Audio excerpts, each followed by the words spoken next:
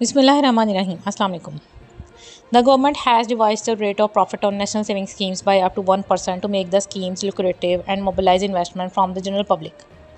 The Central Directorate of National Savings, which works under the Ministry of Finance, announced an increase in the rates of return on some of its national savings schemes, effective from May 9, 2023. Taking to his Twitter handle, CDNS Director General Hamid Raza Khalid wrote that the savings account rates have been raised from 18.5% to 19.5%. Additionally, special savings certificates will now yield 17.4% compared to the previous rate of 17.13%. The rates on 3-month short-term savings certificates has been increased to 20.84%, while the yield of 6-month STSC has surged to 20.82%. Rates on one year STSC have also been revised upward to 20.8%. Khalid said the rates on other schemes will remain unchanged.